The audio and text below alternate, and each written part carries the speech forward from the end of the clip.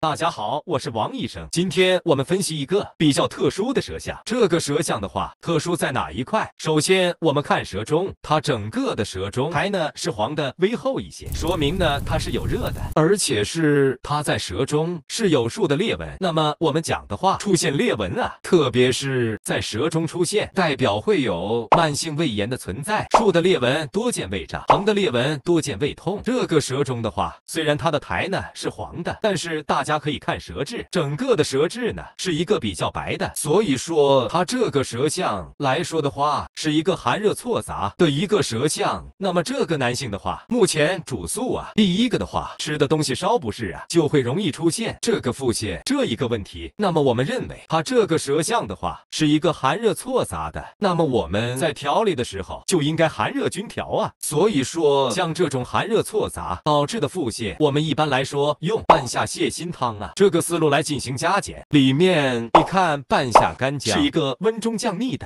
还有黄连、黄芩等等清热的，还会配点补虚的。这个思路在里面。所以说，我们在临床上，既然它有寒热错杂，那么我们在治疗的时候就应该寒热均调，用一些寒药和热药放在一块。这是咱们这一节和大家所讲的内容。